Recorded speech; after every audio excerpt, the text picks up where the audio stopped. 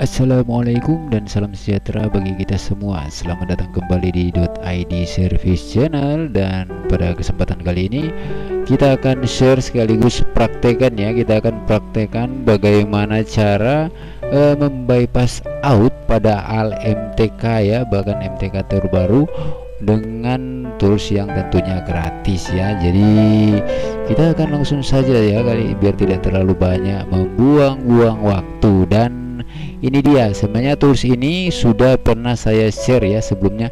Jadi nama toolsnya itu uh, eh, MCT tools tapi pada versi sebelumnya itu sering terjadi error ya. Jadi ada beberapa laporan dari teman-teman teknisi bahwa pada versi tersebut ada sering terjadi error. Jadi sudah ini sudah di fix ya. Jadi segala macam error yang terjadi sebelumnya itu sudah tidak ada lagi. Jadi kita akan langsung saja uh, kita ekstrak ya kita ekstrak here. Ini enggak ada password ya enggak ada password enggak ada embel-embel. Jadi uh, eh, MTK uh, eh, apa MCT bypass ref 3 ini uh, perbaikan dari uh, MCT tool sebelumnya ya dan fungsinya.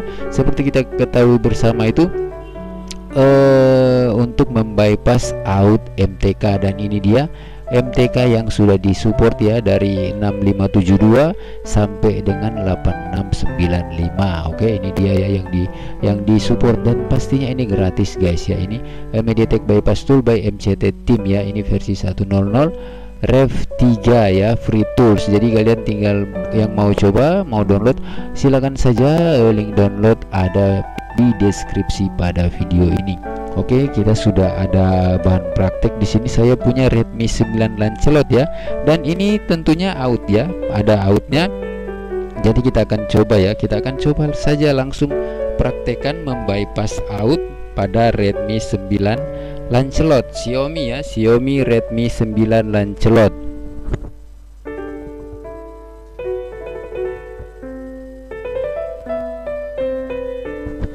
Jadi bagi kalian yang ingin menggunakan tools ini uh, ini tidak usah diutak-atik lagi ya. Nggak nggak ini nggak perlu nggak perlu. Kalian tinggal pilih bypass seperti ini lalu dia akan menginstal driver driver oke okay, dan kalian tinggal colok saja USB nya sambil menahan tombol boot pastinya ya. Misalnya volume bawah atau volume atas. Nah dan jika laporannya sudah seperti ini ya sudah seperti ini maka uh, uh, proses disable outnya itu sudah berhasil. Jadi selanjutnya kalian tinggal melakukan format ataupun flash menggunakan flash tool atau dongle apa saja yang bisa melakukan flashing atau format pada handphone-handphone jenis MTK ya. Jadi seperti ini simple sekali. Cara disable atau bypass out dari uh, Xiaomi ya dari Xiaomi MTK dan bukan ini bukan hanya untuk Xiaomi saja tapi bisa juga buat Oppo ya. Bisa buat Oppo buat Realme. Dan fungsinya sendiri hanya untuk disable out. Setelah outnya dis berhasil di disable seperti ini tentunya kalian tinggal melakukan flashing atau format melakukan flash tool ya bagi yang belum punya dongle tapi yang punya dongle kalian bisa juga mengulangkan dongle ataupun box.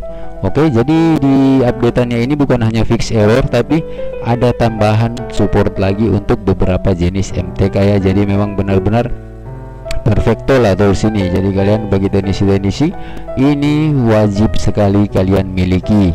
Karena di samping uh, ini sangat bagus sangat simpel sangat cepat prosesnya. Seperti kalian tadi lihat tadi hanya butuh beberapa detik. Tools ini juga free tool ya jadi kalian tinggal download saja. Kalau kalian suka kalian tinggal download lalu kalian ekstrak dan kalian gunakan seperti ini. Oke okay? sip. Jadi saya rasa sepertinya uh, begitu saja ya. Karena memang tidak ada lagi yang bisa kita bacotin.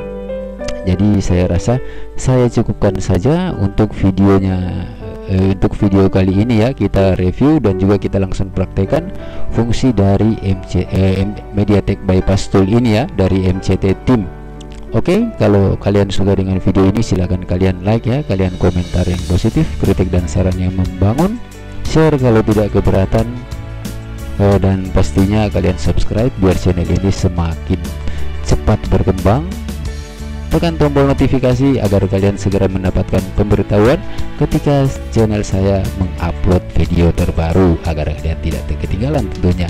Oke saya rasa saya cukupkan saja. Sekian dari saya dan wassalam